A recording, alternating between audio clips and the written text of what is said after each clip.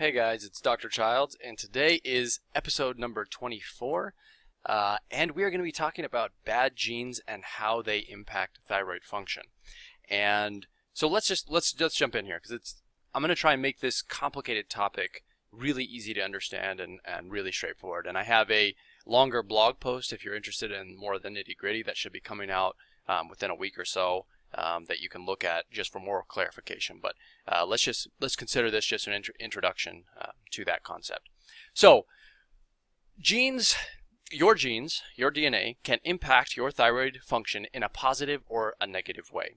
Um, and the when we talk about genes, it's important to understand this concept of a SNP, which is um, well, it's actually it's SNP, but people commonly refer to it as SNP, so uh, which is the acronym.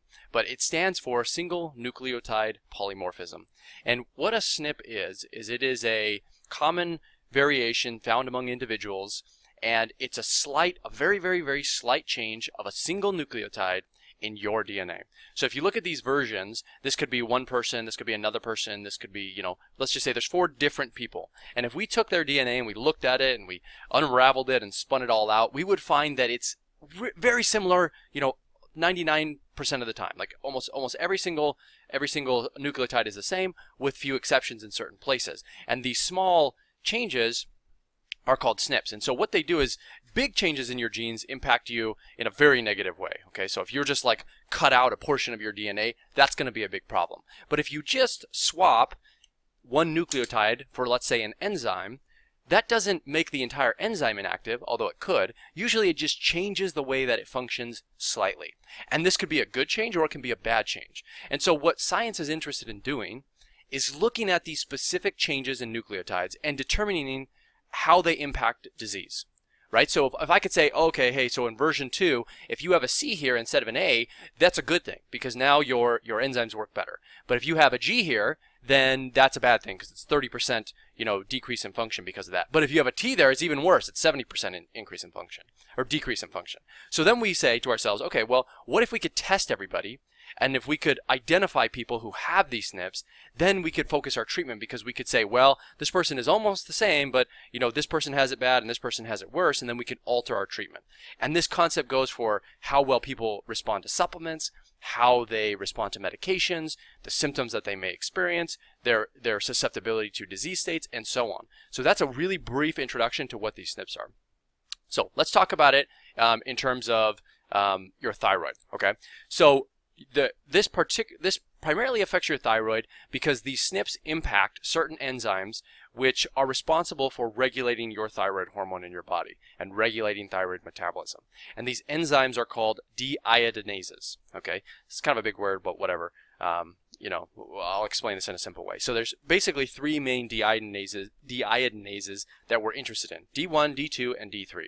And so some of these are depicted here, so D1, D2, D3. Don't let this image confuse you. I'm just showing it to you so that so that you have some idea what we're talking about. Um, trying to zoom in there. Um, and so what, what you need to get from this picture is that these enzymes are in different tissues. And that's a good thing because what they allow your body to do is say, hey, we're getting too much thyroid hormone in your, in your muscles, so we need to inactivate that because we need more in your brain um, because you're thinking right now. You're not running. But if you're running, the same might be true. So your brain says, "Oh, wait a minute. I know he's. I know this. He or she is exercising. So we need now more thyroid hormone in the muscle tissues as opposed to the brain. So let's decrease it in the brain. Let's increase it in the muscles." Then likewise, these enzymes might say, "Well, hey, hold on a second. The thyroid isn't producing enough thyroid hormone." This person has Hashimoto's or hypothyroidism.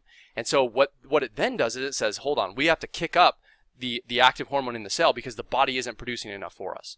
And so in this way, your deiodinases, they primarily are responsible for the activation or inactivation of thyroid hormone in each and every one of your cells.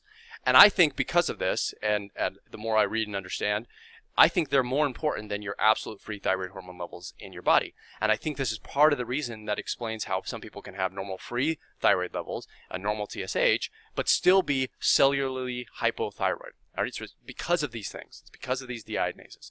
Okay, so that's that's the general idea. I'm going to give you some brief um, stats about these guys too. So D1 is considered an activating deiodinase or an activating enzyme. So what it does is it takes your T4 and it turns it into T3. So you can see D1 in this image. So T4 goes here, um, um, D1 hits it, and it turns it into T3. Boom, good, we want that. Okay, it's an activating deiodinase. D2, same thing. It's an activating deiodinase. So they're in different tissues, but they still do the same thing. So T4 comes, it hits D2, boom, turns into T3. Perfect, we want that. Okay, so now in normal situations, about 30% of the free T3 that's floating around in your blood um, is is uh, accomplished through the deiodinase of, or through the activity of D1. Okay, so 30% of T4 turns into to T3 because of D1. Now, so that's a that's a good amount, but the majority is done through D2. So this guy. So 70% of the the T3 that's in circulation um, was turned into T3 because of D2. All right, so these are the big players here. D1 does 30%, D2 does 70%. D3 is considered the inactivating enzyme. So if D3, if T4 hits D3, so you can see here, T4 will follow the line, boom, hits D3, what does it turn into? RT3 or T2? Okay, so reverse T, that's RT3, that's reverse T3. And T2 is, it's a kind of active metabolite, but not a big one, okay? So what that means is that these enzymes are constantly at play, you know, uh, activating or inactivating certain tissues and, and thyroid hormone in the tissues. Now, what, what the problem is, is that certain SNPs affect the how well these guys work. Okay, and so what we're primarily interested in is the guys who affect D2. Because let's say, so we said before, 70% of the amount of T3 that's in your in your blood um, was turned into T3 because of D2. But what if D2 only works at 50% because you have a SNP? Oh, well, that's a problem because now instead of producing 70%, now it produce, produces 35%. So now you're already at a disadvantage when it comes to producing T3 in your bloodstream just because of this single nucleotide polymorphism. All right, that one little change could impact that enzyme. Likewise, it might make it a super, you know, you might become a, a super converter. So um, one change could make it activate and, and turn all T4 into T3. And instead of responsible for, for 70%, it might be responsible for 95% because it's just that active.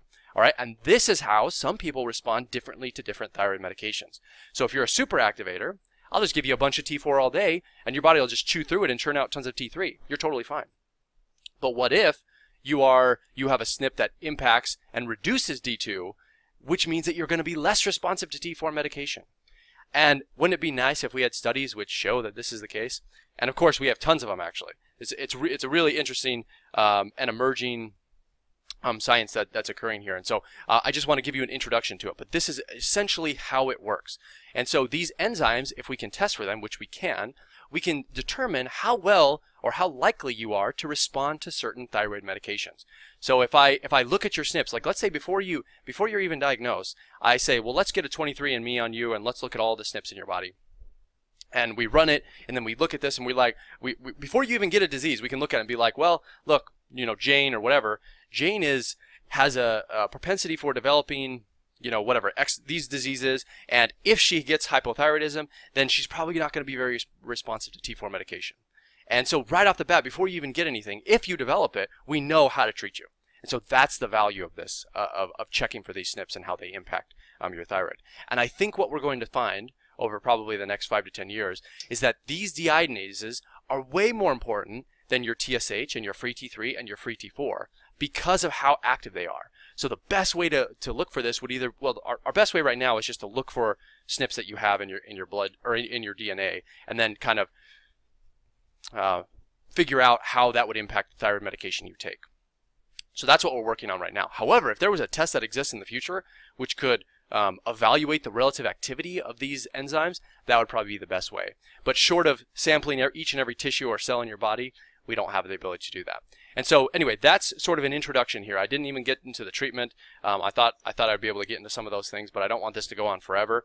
Um, so that's an introduction to to this concept. And I think I have an even easier picture. I don't know if that's easier or not. For we'll talk about that later. But but anyway, so I just wanted to introduce this to you guys, let you know that these deiodinases play a very important role in regulating your thyroid, um, and your genes can impact them. So now I want to hear from you guys. Have you had your genes tested? Uh, what questions do you have about these deiodinases? Um, things like that. So let me know if you have any questions. Leave them in the comments below, and I will do my best to answer them. Otherwise, I will see you guys in the next one.